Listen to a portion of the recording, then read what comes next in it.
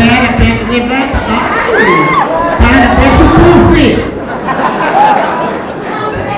É que eu passei, eu queria sentar em cima do puff.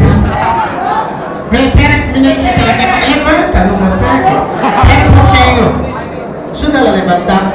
Lembrando que nós temos um fotógrafo.